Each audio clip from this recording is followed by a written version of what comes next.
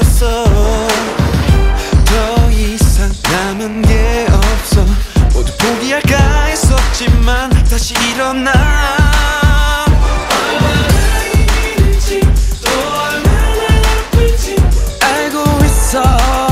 난 상관없어.